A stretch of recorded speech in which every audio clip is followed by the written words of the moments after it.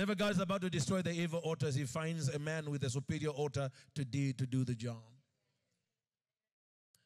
The other was a man of God from Judah to Bethel by the word of the Lord. Friends, I come to you tonight by the word of the Lord. That's why I know many, many, many are going to be delivered tonight. And Jehoram stood by the altar to burn incense. Then he cried out against the altar. It's very interesting that Jehoram, the, uh, the king, the king, um, the king himself was the culprit to the evil that altar was generating in the nation. Because the king himself had sold himself to that evil altar because the king himself was the attendant to the altar.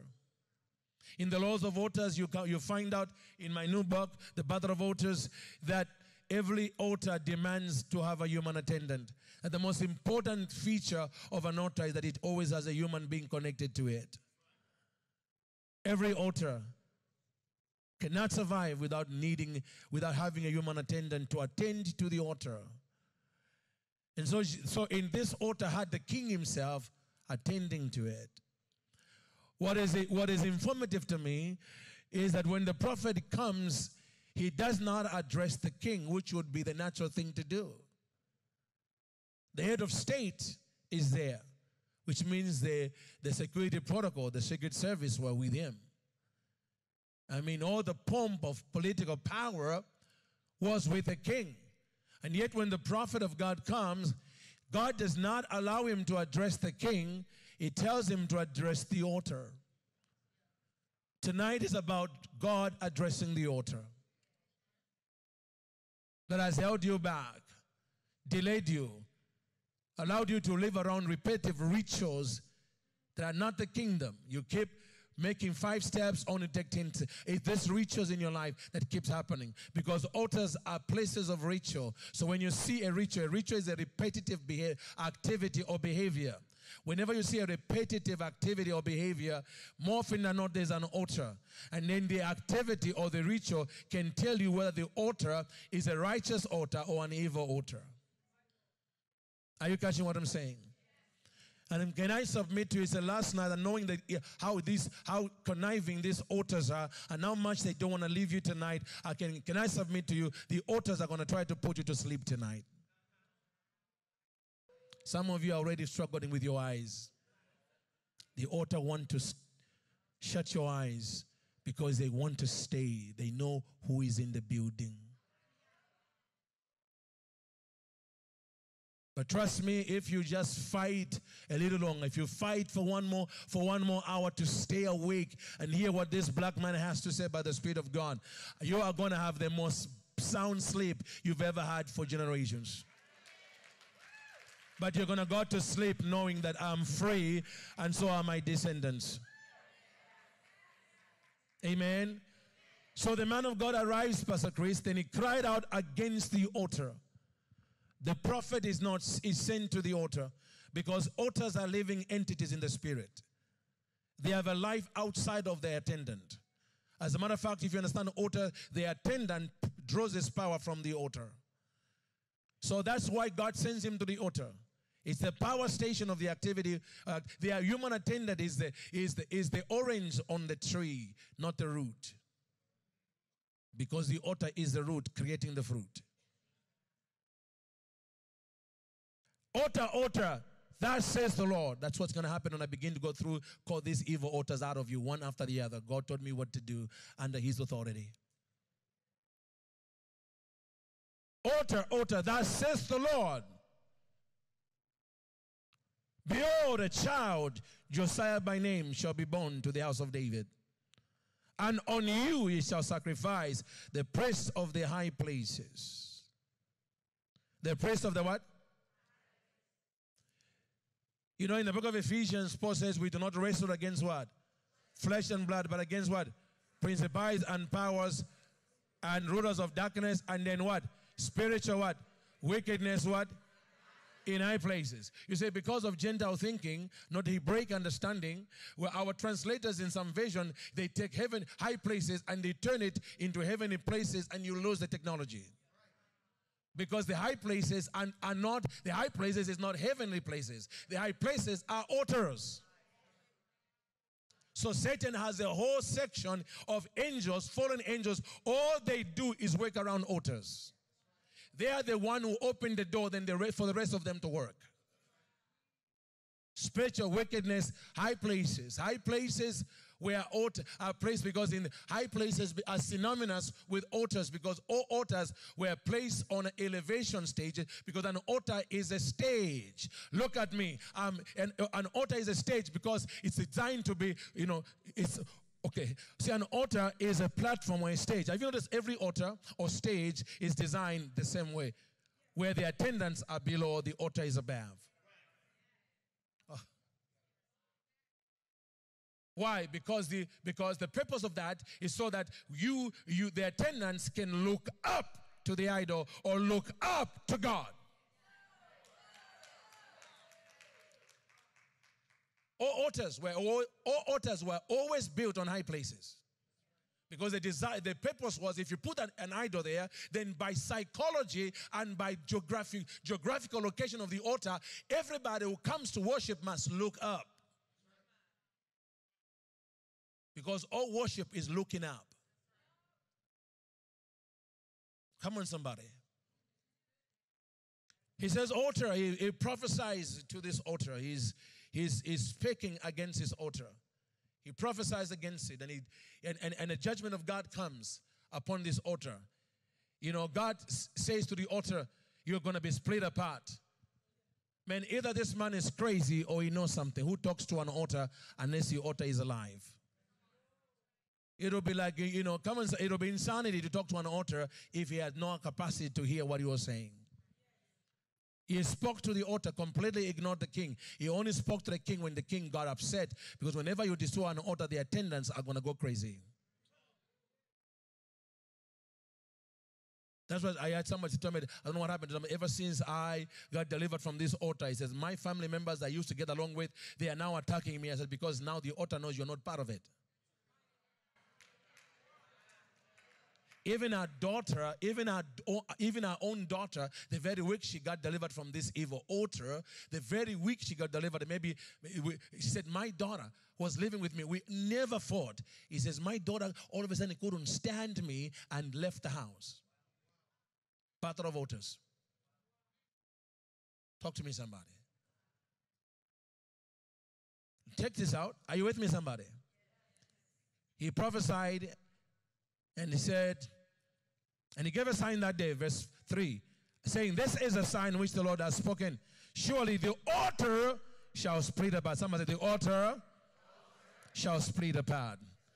Someone say, That's good news for me. Surely the evil altar shall split apart, and the ashes on it shall be poured out.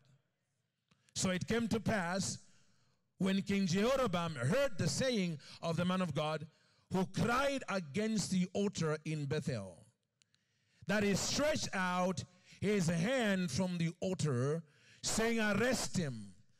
Then his hand, which is stretched out towards him. Very interesting what the Bible says. The king was about to strike the prophet, is that right? But the, it, it's an interesting expression the Bible uses. For the Bible says he stretched his hand to strike him from the altar. The knowledge, what the Holy Spirit is trying to project is he was trying to strike him in the power he used to get from the altar, but when the altar is judged, the attendant is useless. He tried to strike him from the altar, and the Bible says he got arrested. His voice, he's got what? Arrested. God is sending angels tonight. He has sent angels to arrest every evil altar in your bloodline tonight. What used to work against you will never work again. Somebody what used to work against you, you never work again.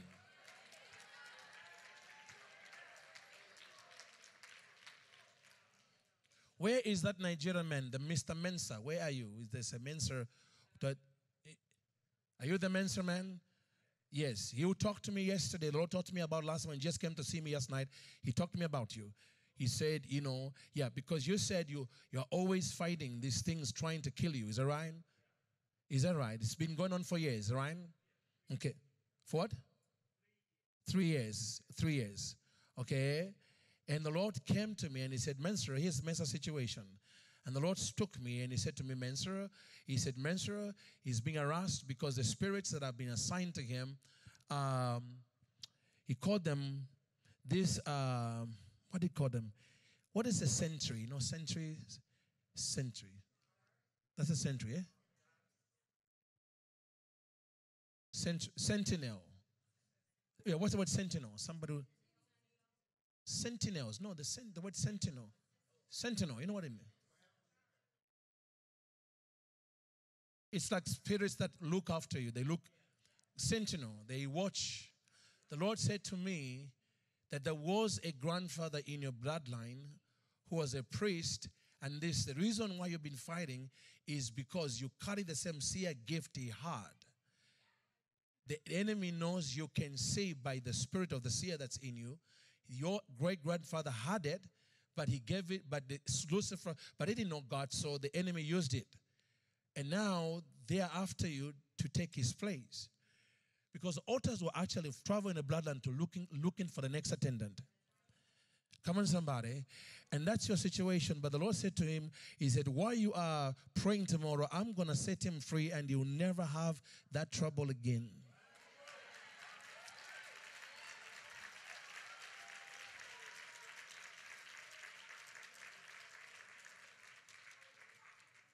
There is nothing worse, people, than being alive and hating to go back to sleep. Because we live and work during the day so we can sleep and rest at night. But many of you, you work in the day and you work on the bed, fighting all kind of stuff.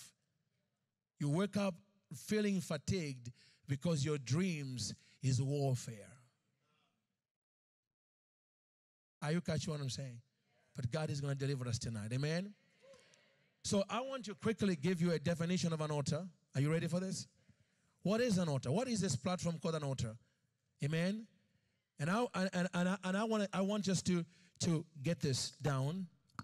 Amen. I'm reading from my book, but I think it should be on there. I think it's the second slide, Maquette. Amen. An altar. Okay, say it with me. So it, it, I just want to say it with me. See, an altar is a supernatural landing strip, a power station, a consecrated place, a place of exchange, a place of sacrifice, a table of fellowship, a place where covenants are made and sustained. It's a spiritual platform where spirits, God, angels, or demons land.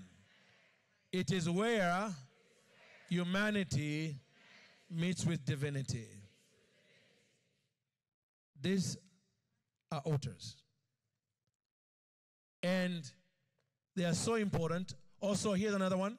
An altar, said with me, an altar is a system of authorization for promises, vows, and agreements between divinity and humanity. Now, say in modern language, an altar is an API between the natural and the spirit world. Now, some of you may not understand what an API is. API is those who are in technology understand it, but most of you don't, an API, you use the APIs, but some of you don't even know what you are using an API. But an API, goes, the Holy Spirit of Francis, an API is your modern version of an altar in, an, in the world of technology. An API, API stands for Applied uh, uh, Application um, um, Programming Interface. What it means is this. For instance, my website, I have got products to sell. Is that right? Is that right? I've got books to sell.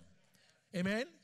But I but if you go to my website, I can't sell you books just because you went to my website. So I do need somebody who owns a payment gateway.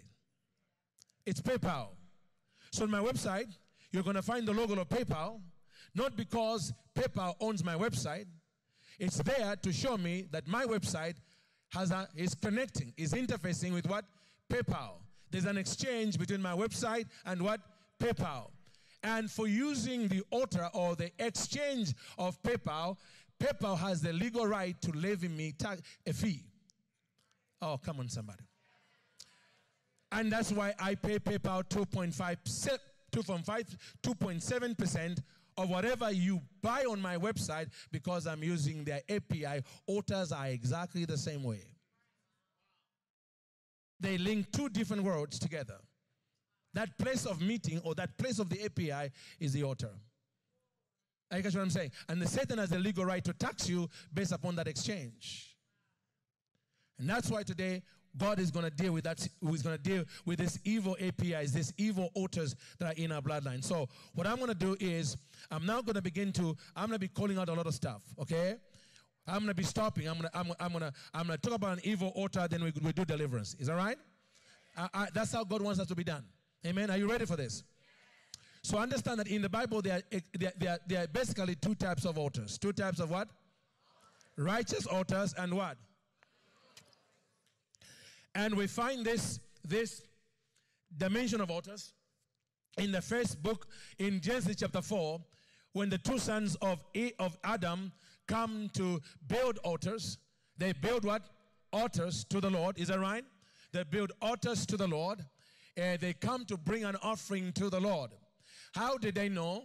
That they needed to build an altar because God had already shown Adam and Eve on their way out when he killed the animal how to connect with heaven. So now they're, they're building two altars.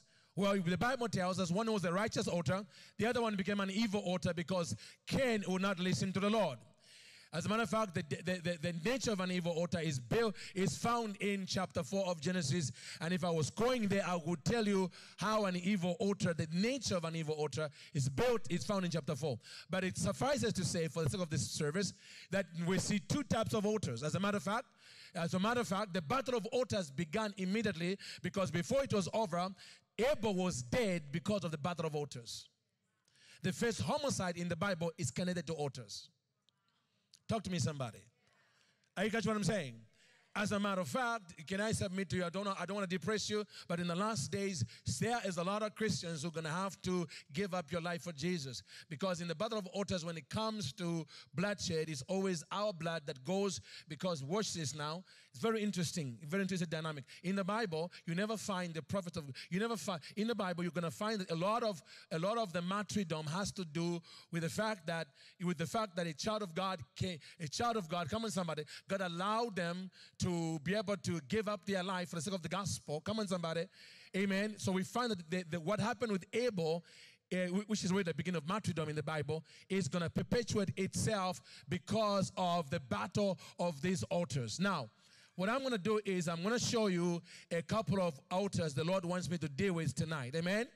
And I'm telling you, some of you are going to find that a lot of the things happening in your life right now are because of some of the things I'm going to be calling out.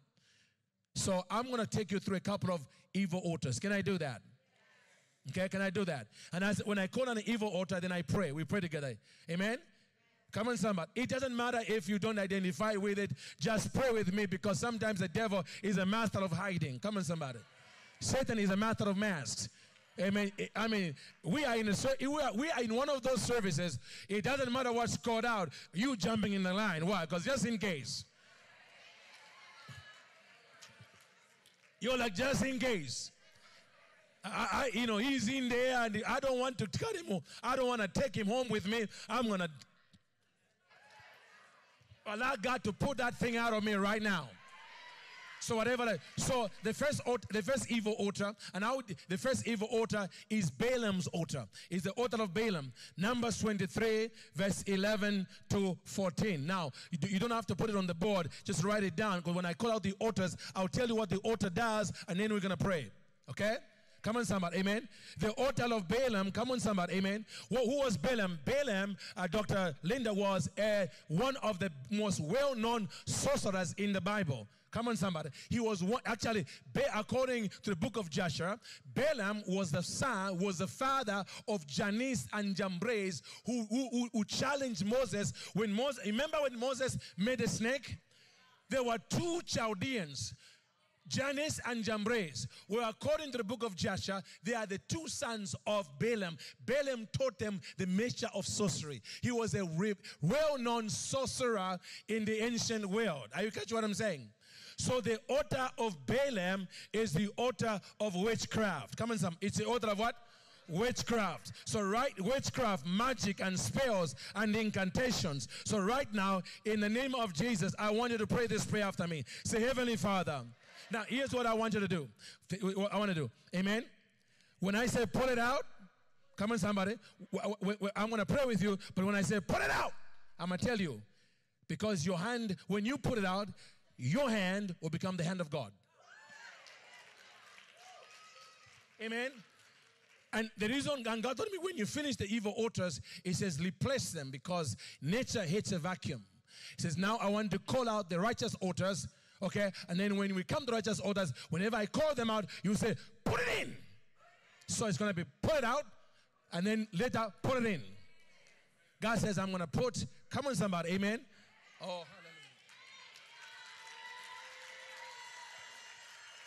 hallelujah. Amen. Are you catching what I'm saying? Amen. This is real stuff. This is real deliverance. The angels of God are here to deal with this stuff. Okay? So I want everybody. So you you be you're gonna go today.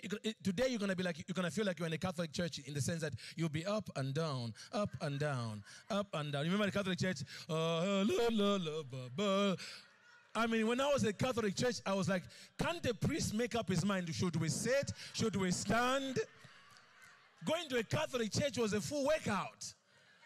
I'm telling you, after an hour, man, you, you lose weight in a Catholic church. So today, please forgive me. It's going to feel like a Catholic church, but we're doing the work of the Lord. Amen. So right now, stand up. Stand up right now and pray this prayer after me. Say, Heavenly Father, in the name of Jesus, the battle of altars has already begun, and the devil is losing.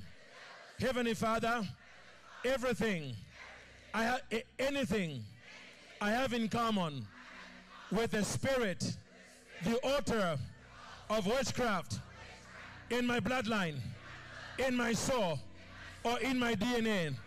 I'm asking you, God, that as I'm in your presence, as the angels around me, Heavenly Father, I renounce the altar of Balaam, the altar of witchcraft, from this day forward, there'll be no witchcraft, no sorcery, no magic, no incantation that can ever control my life.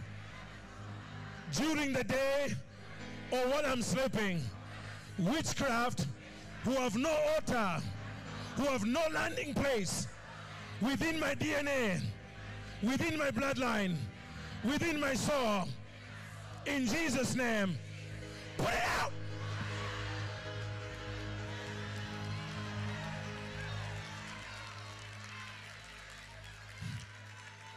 Sit down, sit down, sit down, sit down. Jezebel's altar. Jezebel's altar. And some of you eat that. Come on, somebody. The Bible actually calls Jezebel's altar Jezebel's table because an altar is a table because you eat at it. Are you catching what I'm saying? So the Bible uses the terminology Jezebel's table, but an altar is what? A table. In Hebraic understanding, an altar is what? Is a table. So the Bible tells us, amen, in First Kings, when Ahab saw Elijah and said to him, Are you the one who is bringing disaster on Israel? Elijah said, I have not brought disaster on Israel, but you and your father's household have done by abandoning and rejecting the commandments of the Lord by following Baals. Now, when now send, uh, send and gather to me all Uh, all Israel on Mount Carmel, together with the 450 prophets of Baal and the 400 prophets of the goddess Asherah who ate at Queen Jezebel's table. Okay? So we know that one of the most aggressive evil altars and spirits in the Bible is the table and the spirit of Jezebel. The spirit of Jezebel is, is, is, is, common, is, such, is such a common spirit in the earth. And its altar is so common that Jesus, when he's talking to the seven churches, has to address the altar of Jezebel in the church. He says, I have one thing against you because you got the altar of Jezebel in you. Jezebel loves to come to church. It tells us Jezebel, that spirit likes to operate in the lives of God's people. It's a spirit, it's an altar that hates the, the pure prophetic word of the Lord. It's a spirit of control and manipulation. Talk to me, somebody. Amen. And I'm telling you, there's a lot of people of God, they love Jesus, but boy, they are manipulative, they are control freaks. Come on, someone. Why do you have to know everybody's business? Because the author of Jezebel is in your soul. There is no news that happens in the church that you don't think you have a right to speak in. You can be that important. But what did they say? What I mean, you have to know it's because the altar of Jezebel must control everything. Why did the pastor preach that? Why did he have to say it that way? It is Jezebel speaking inside of you. Come on, somebody, and we are gonna be delivered tonight from the altar of Jezebel. Talk to me, somebody. I want you to stand up right now in the name of Jesus Christ. Say, Heavenly Father, as I'm in the court of heaven. I demand a deliverance from the spirit of Jezebel and the, Je- and the, and the altar of Jezebel. I renounce, Lord, this evil altar of witchcraft, manipulation, and control. I'm asking God that in the name of Jesus, you would judge this altar and destroy it over my life once and for all. In Jesus' name. Heavenly Father, I repent for anything I have in common with the altar, the table of Jezebel in my soul, in my DNA, or in my bloodline.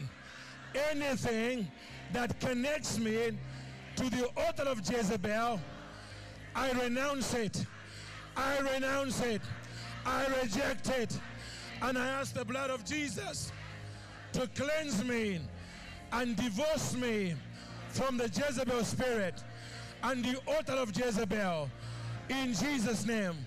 Lord, as this altar, this evil altar comes out of me, I will lose the desire to manipulate anybody. I'll lose the desire to try to control everybody. In the name of Jesus. Thank you, Holy Spirit, that the angels are here to drag the altar of Jezebel out of my DNA, out of my soul, out of my bloodline. Pull it now.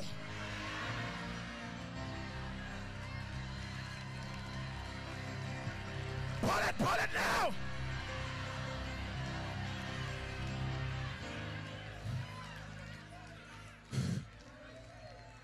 Sit down, sit down, sit down. You've never seen a deliverance service like this, but you, you'll see the fruit.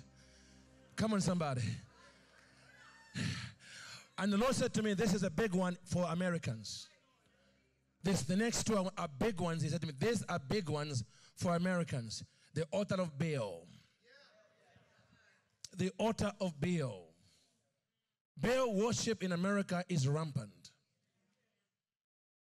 These demonic deities are running America for the most part. Baal is the God that would have stopped the, the destiny of Gideon had God not taught Gideon to destroy the altar of Baal in his father's house. Gideon would not have been able to deliver Israel I did not uh, dealt with Baal worship, which lets me know that Baal is the number one deity that stops many of you from coming into destiny. So it seems like it's an ancient God that stops destiny. Because God tells Gideon, even though you have met me, if you don't deal with the altar of Baal in your father's house, you are going nowhere. Your prophecies will sound like music that never comes to pass. Early the next morning, Judges 6, 28, 38.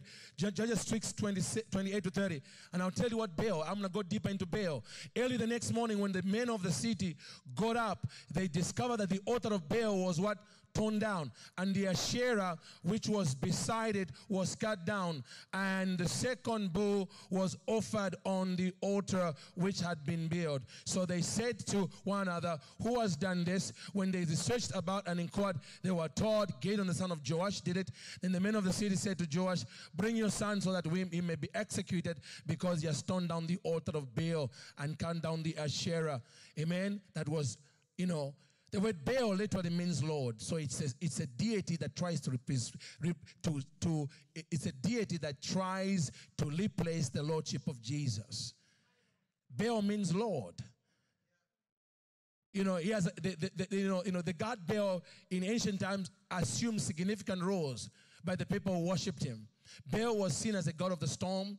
He was seen he, he, he, he was he was seen as the he was the god of thunder you know, that the Baal, you know, but also he was the God who, who both created, according to the ancient world, Baal was the God over fertility and sexuality or sexual orientation. So a lot of the sexual confusion in America is because of Baal. Baal was worshipped by homosexuality. He was worshipped by lesbianism. He was worshiping by, I mean, doing all kind of. That was Baal. Come on, somebody. His amen. And every and all other fertility rites are connected to the issue of Baal. Baal, you, you know, and Baal is such a is such a prominent god that even Jesus had to deal with Baal in his day. Actually, Jesus was accused of operating in the power of Beelzebub. Come on, somebody.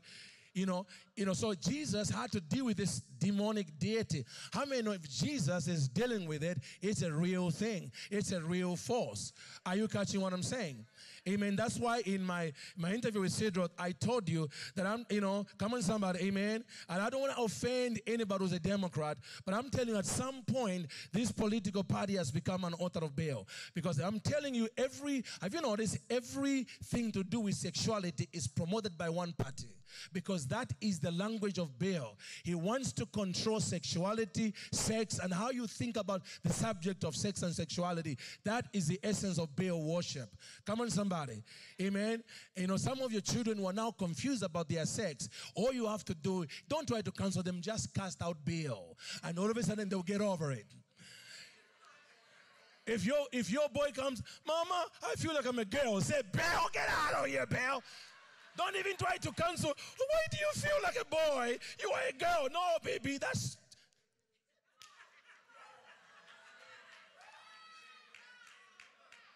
Well, I just feel like a girl. You, know, Bell. really, Bell? You gonna do that to my child? I. Someone said, "Boo devil, I see you." Say, "Boo devil, I see you." I'm showing you how to change people around. If you understand what's behind the veil, you can change the conversations in front of the veil. Baal. Baal. That's what he did to people. Baal. In the Bible, I don't want to offend anybody, but in the Bible, you all, in the Bible, do you know, in the Bible, you just watch the Bible and also read ancient texts that what you call the, the gay lifestyle was the most prominent way to worship Baal in Baal temples. So how can a lifestyle that appeared in the in the temple of Baal become a lifestyle God endorses tomorrow?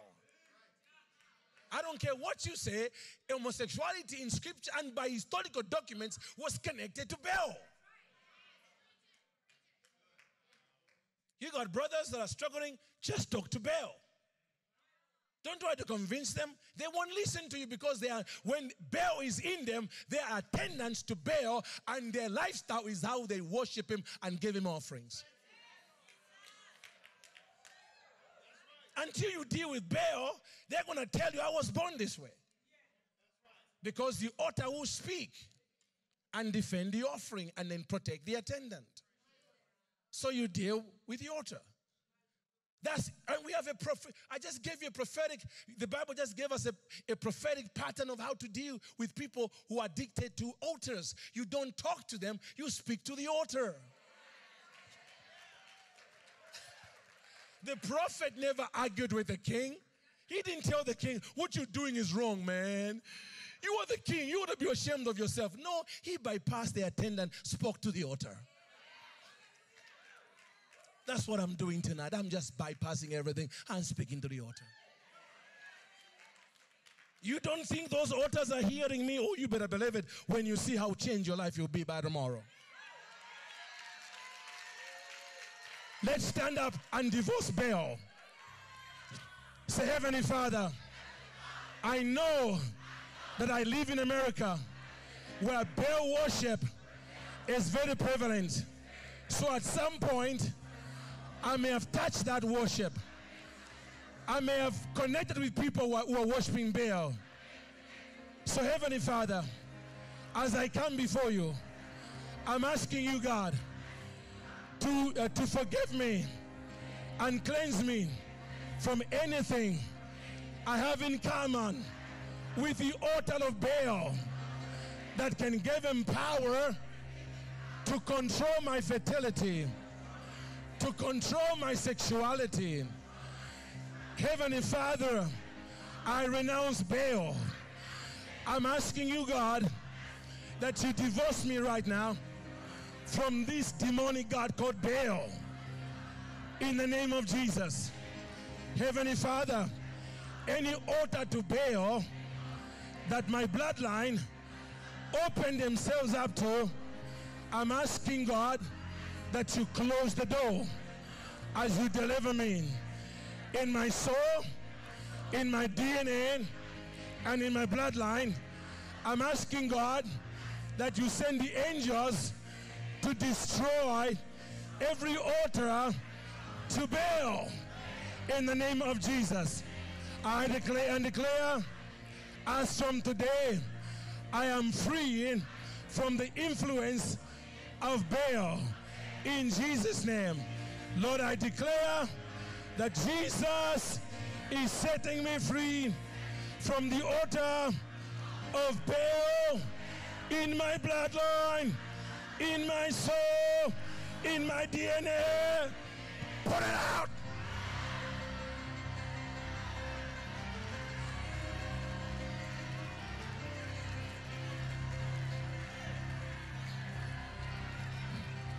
The Lord says, Francis, some of the proof that you have been delivered from Baal for the women is that your monthly periods will become painless. God said to me, I don't, in, uh, it's not me, it's Baal claiming the rights of fertility. Because altars become more powerful in you when there is a bloodshed.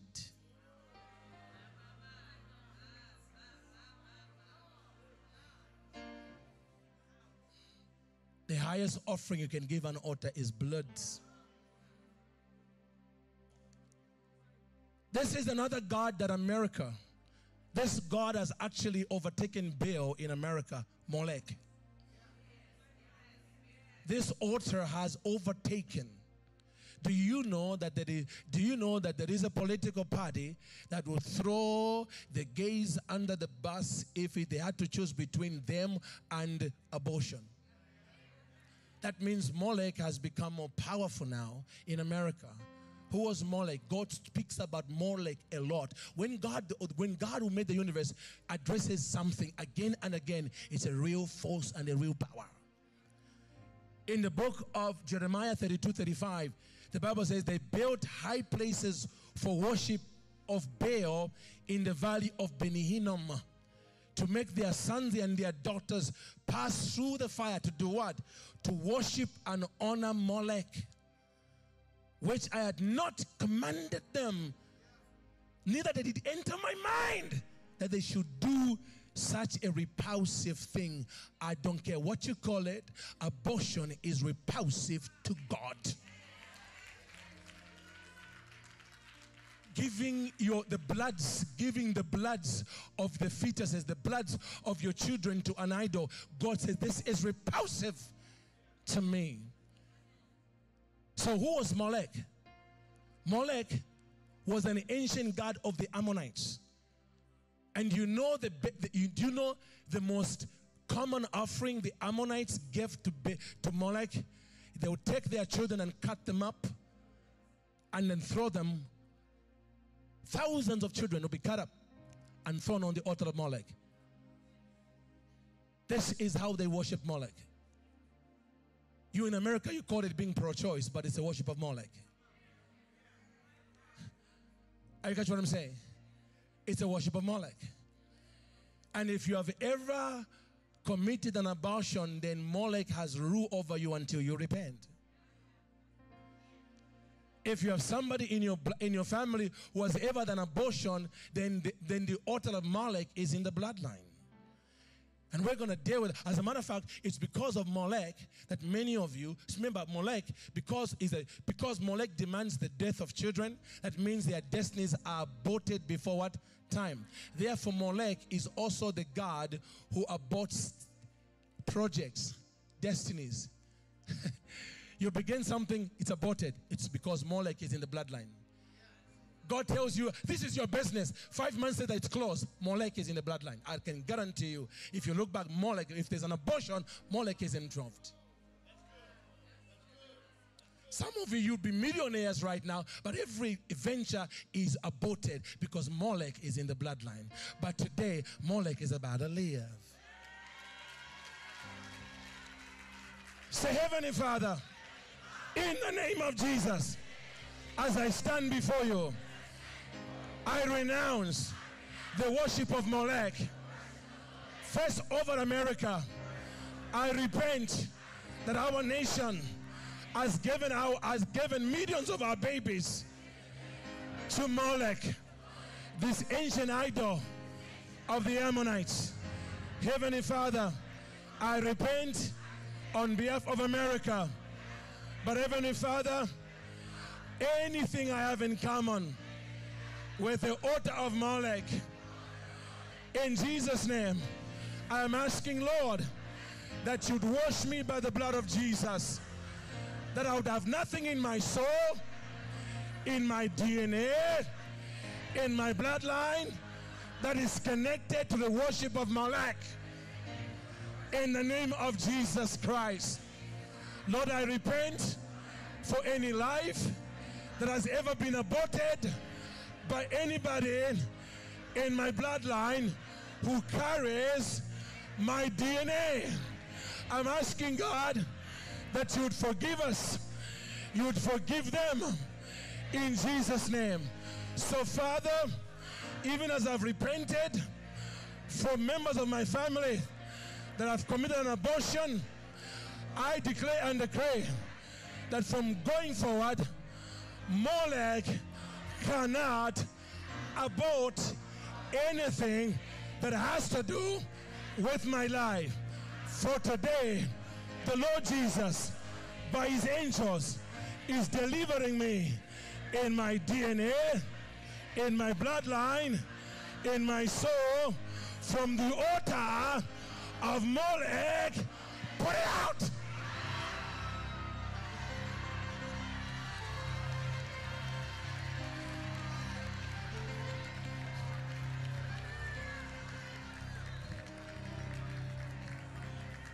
Somebody shout, No more abortions.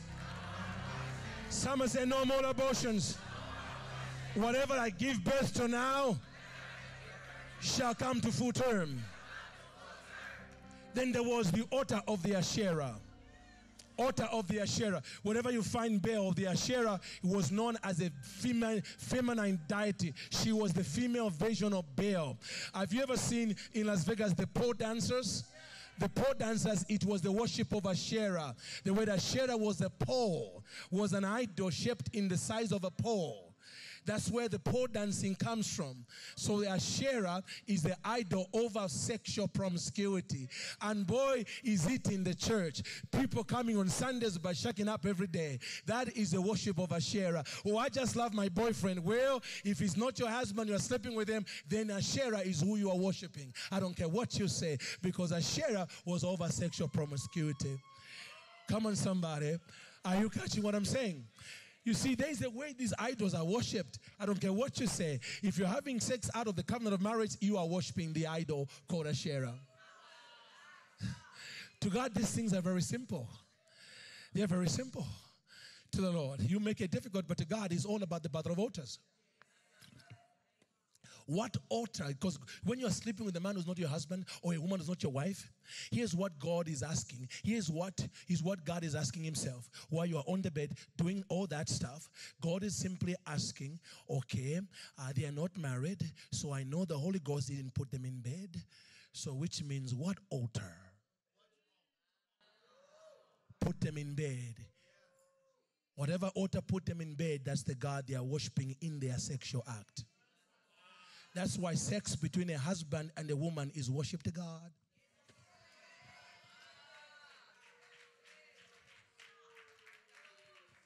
You know why it's worship to God? Because that he because he put you on the bed together. Therefore shall a man and a wife come together and the two shall become one. And God said they were both naked and it was beautiful. So when you take a somebody who's not your wife and you go on the bed, oh, can I tell you, this will blow your mind? Okay? Sex, all sex is connected to an altar. Because sex is an altar. How do you prove it? Altars are places of exchange. So the, the man gives the woman a seed, the woman comes up with a baby, there was an exchange. That's why altars love sexuality. Why do you think sexuality is a big deal? Why do you think pedophilia in your country is so big? Because sexuality is, the, is one of the most powerful ways to quickly establish an altar. And the God behind that is Asherah, and the Bible, or Ashtaroth. Stand up. Let's deal with this. Is the last day. Come on, somebody. You are going to struggle with the spirit of lust. I hope you can celebrate that. I said, This is the last day. You are going to struggle with the spirit of lust. You know what lust is? Is an altar calling you to bed. So the altar and the God behind it can possess you when you answer the call. Okay, let's finish the service. Say, Heavenly Father, as I'm in the court of heaven, I ask for your righteous judgment over my DNA, over my bloodline, over my soul, concerning the, the altar of a Asherah. Heavenly Father, I renounce this altar that generates impure sexual thoughts and energies. I refuse to be controlled by impure sexual thoughts and energies that are calling me to bed at the violation of the covenant of marriage. So, Heavenly Father, anything I have in common in my DNA, in my soul, in my bloodline with the altar of Asherah, I ask Jesus to cleanse me, to deliver me. In the name of Jesus, I renounce this idol and the altar it stands on in Jesus' name. Lord Jesus, I'm asking you now, I'm asking you now to deliver me in my DNA, in my soul, and in my bloodline from the altar of the Asherah. Put it out!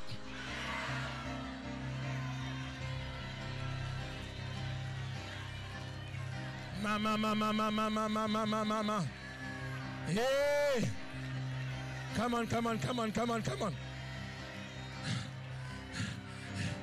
Now the Lord said to me, now Francis, just called out, called out the altars. He said, do them and do them to, to, together. We're at that place. Now say, say, Heavenly Father, right now, as I'm in the court of heaven, in the day of judgment, for you have chosen tonight as the moment of Kairos to judge every evil altar that has harassed me, oppressed me, used me, controlled me. Heavenly Father, I renounce the altar of the goddess Diana. I denounce this idol that makes people worship their own image. I renounce it in the name of Jesus. Anything I have in common with this altar in my soul, in my DNA, I'm asking you, Lord Jesus, to cleanse me by the blood and deliver me. I renounce the altar of Dagon, this water spirit God. In Jesus' name, the spirit behind wet dreams at night. I will not be I will not be raped sexually in my sleep, in my dreams by Dagon. It's over in Jesus' name. Heavenly Father, anything I have in common in my soul, in my DNA, in my bloodline with the altar of Dagon, I ask Jesus, my Lord, to cleanse me by his blood until there's nothing that connects me to Dagon and the altar thereof. I renounce the altar of Beelzebub, the spirit that is behind mental confusion. Heavenly Father, I renounce Beelzebub, the Lord of the flies, things that fly around the mind. I declare and decree that Beelzebub will no longer attack my time of prayer by causing all kind of thoughts to fly around my head like flies until I cannot concentrate on my God. So Jesus, anything I have in common in my DNA, in my soul, in my bloodline, with the altar of Beelzebub, I say, Jesus, wash me clean by your blood, that there'll be nothing that connects us. Heavenly Father, I renounce the altar of Babel, the tower of Babel, which is an altar to self-worship. That altar that causes self to rise up as though it was God in pride. I renounce it. I will no longer be controlled by this evil altar. Lord Jesus, anything I have in common in my bloodline, in my soul, in my DNA with the Tower of Babel, I'm asking you, Lord, that you deliver me and cleanse me from it. In the name of Jesus. In the name of Jesus. Heavenly Father, I renounce the altar of Cain, an altar of defiance that caused Cain to point his finger as at God. As a mere man, he rebuked God. Lord, that altar of defiance that can challenge your authority.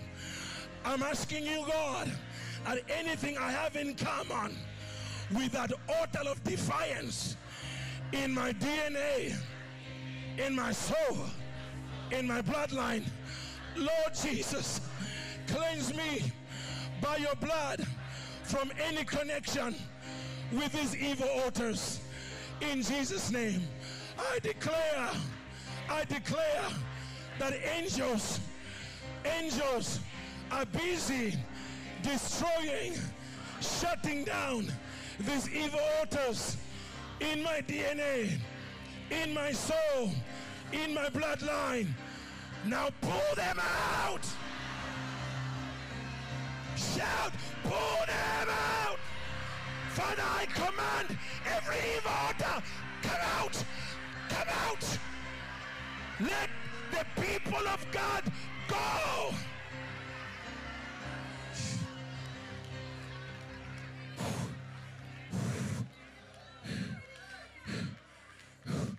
Oh my God. You know what I'm seeing in the spirit? I'm seeing stones rolled over. stones rolled over, heaps of stones. And God said, angels with sledgehammers. I've been busy tonight. I've been busy tonight. Somebody shout, I'm free. I am free. Now listen, we're about to end the service with this. Pastor Chris, get ready because we're going to do champion to end the service tonight. Are you ready for righteous altars to get into you now?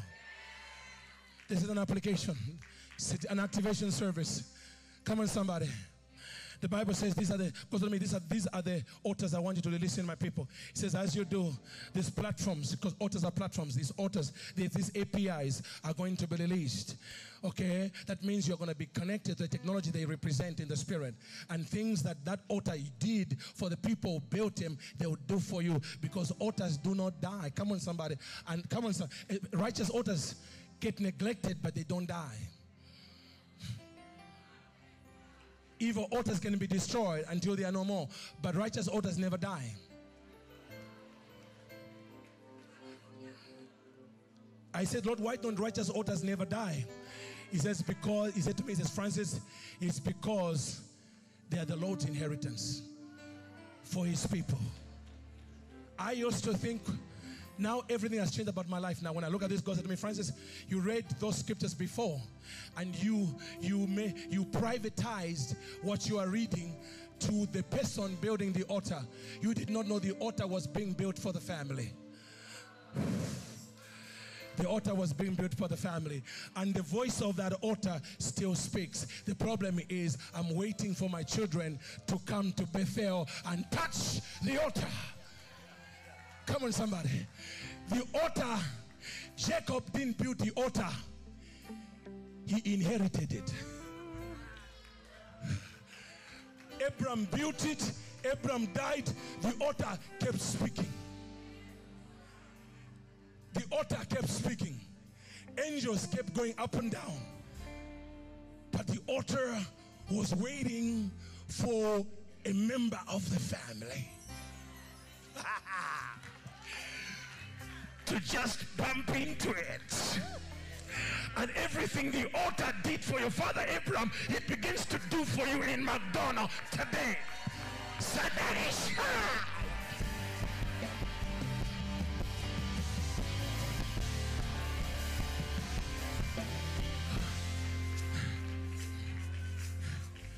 So the altar, God said to me, release these altars. Can I release them now?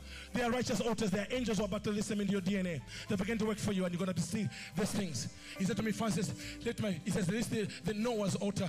I said, God, what is Noah's altar? Here's what the Bible, I'm going to read about the righteous altars. I'm going to read the scripture that goes with them because you got to hear the altars. Because altars tell you what they are by what they do. I'm going to read. And Noah, eh, Genesis 8, 20 to 21. And the Bible says that Noah built an altar to the Lord. Is that right?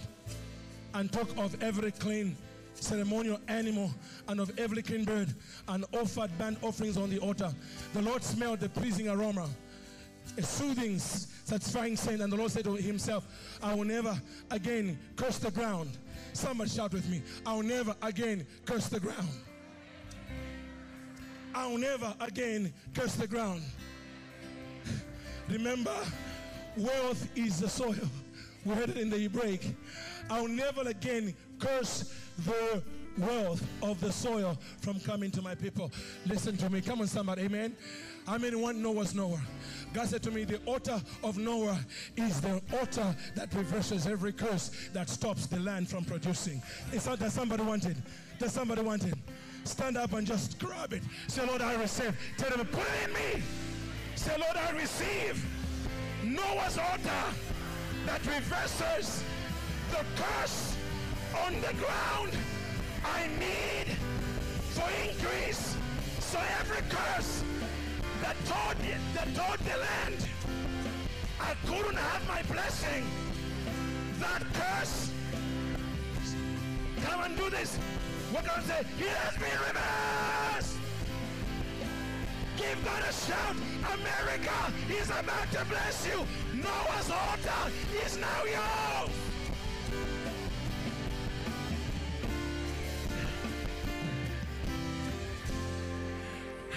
How many are ready for Abraham's altar? Abraham arrives in the promised land. And the Bible says, Genesis 12, he built an altar, Linda. He built an altar. The Bible says when he arrived, there were enemies in the land God had promised him. So what does he do? Does he fight them with a gun? That's not right. What does he do? He builds an altar.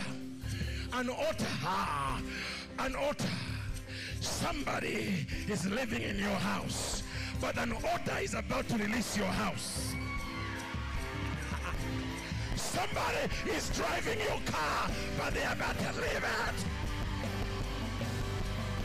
Because right now, say Jesus, put Abraham's order into me now.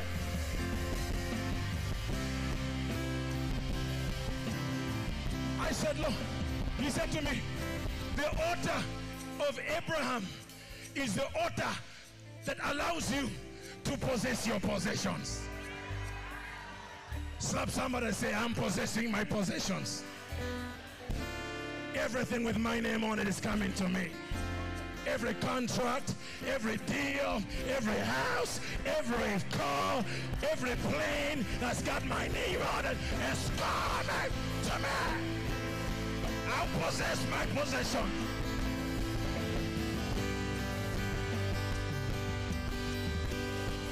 Say I receive. Grab it, grab it, grab it. Grab your possession. Grab your house. Grab your house. Grab your husband. Grab your wife. Grab your children. Possess your possessions.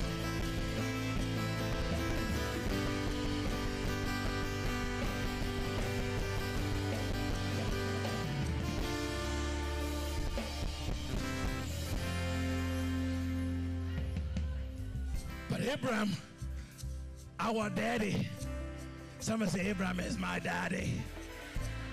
Turn to one and say, "Is- as a neighbor, Papa left me some stuff. Abraham built another altar. The altar he built was Mount Moriah. When God says, Abraham, he says, Yes, here I am. He says, Abraham, offer me Isaac. Shakatara. Your only son. And this old man did not even doubt, not even argue with God. And he went to Mount Moriah. And there at Mount Moriah, he built an altar. The boy understands the law of altars. So he turns to his father. He says, My father, I see the wood. I see everything needed to build an altar is with us. But but the boy understood, being Hebraic, that no altar comes alive without a sacrifice. He says, Where is the sacrifice?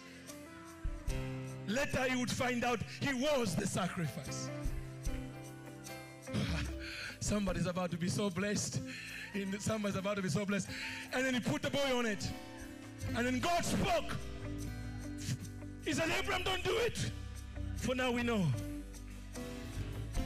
that you fear God. And then something happened, Apostle Lee. God identified the name of the altar to Abraham. I know we sing songs every Sunday. Jehovah Jireh, my provider. My provider. And the Lord told me, He said, Francis, that's not accurate. Jehovah Jireh is not my name. It's the name of an altar. It's in your Bible. Genesis 22, verse 4. And Abram called that place Jehovah Jireh. What altar is this that's about to come into you? It's the altar where you stop running for money. Money chases you. Somebody touch your back. If you are feeling something, that's your car chasing you. If you are feeling something, that's your house chasing you. Bible says at this altar, my father Abraham turned and God says, look behind you. If I'm looking behind you, whatever is caught behind me, I am not the hunter. Somebody's hunting on my behalf. I'm here to tell somebody while you are in this building, God is hunting for your new car. Come on, somebody. While you are in this place, God is hunting for your new house. Somebody shout and say, Jesus, put the outer out Mount Moriah in me. Come on. Say, put it in me. And give him a shout.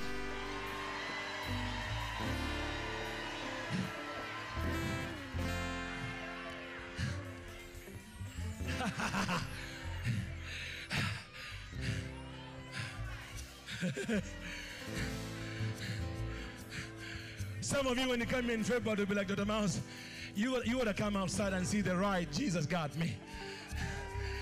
I, I was not even looking for it. That altar is working. Some of you, the devil has weird you out chasing stuff that ought to be chasing you. Today, God says, I changed the technology of your provision. It is time money chased you for a while. Give God a shout.